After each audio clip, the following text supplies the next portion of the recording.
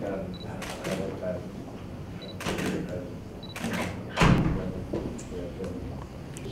ederim. Kıbrıs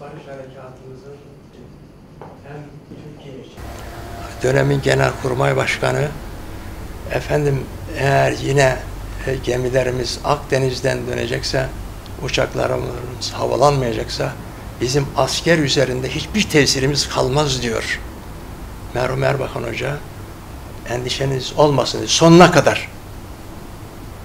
Ve o kararlılıkta buraya müdahale ediliyor. İyi ki edilmiş. İyi ki edilmiş. Milli davayı sonuna kadar savunmak, milli davadan geri adım atmamak lazımdır.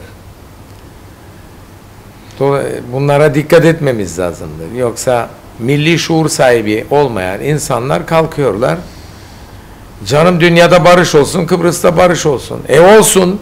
Barışa karşı çıkan yok. Bir anlaşmaya karşı çıkan yok. Kıbrıs Türk Barış Harekatı demiştik Adana'da 1974'te. O barış harekatıydı, mutlu barış harekatıydı. Ama onlar bizimle bir anlaşmaya yanaşmadılarsa Kıbrıs'ta şu anda huzursuz değiliz. Özgürlüklerden yoksun değiliz.